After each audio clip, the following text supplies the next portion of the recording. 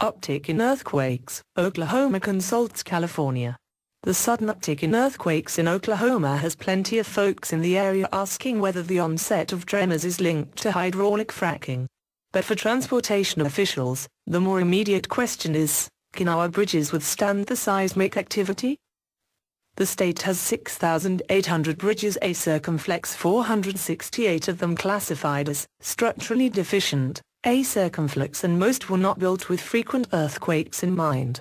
But earthquakes in Oklahoma have become so common that inspectors are being called to check out bridges several times a week, often on weekends or in the middle of the night. The Oklahoma Department of Transportation, ODOT, recently paid for their counterparts in California, the only state with more earthquakes than Oklahoma, to visit and share their expertise. ODOT is using the visit to develop an interim policy, says Paul Green, ODOT's Director of Operations. To that end, they are looking into implementing several checklists that California currently uses in assessing bridges after earthquakes.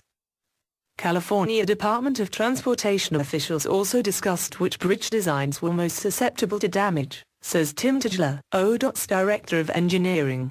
Inspectors especially keep an eye out for bridges that are narrow, have unstable bearings or that have supports that are not perpendicular to the ground. Caltrans showed off a unique computer program it uses called QuakeCast that alerts inspectors minutes after an earthquake to which bridges are most likely to be damaged. Oklahoma is unlikely to adopt a similar program at this time, but it helps to know which bridges to carefully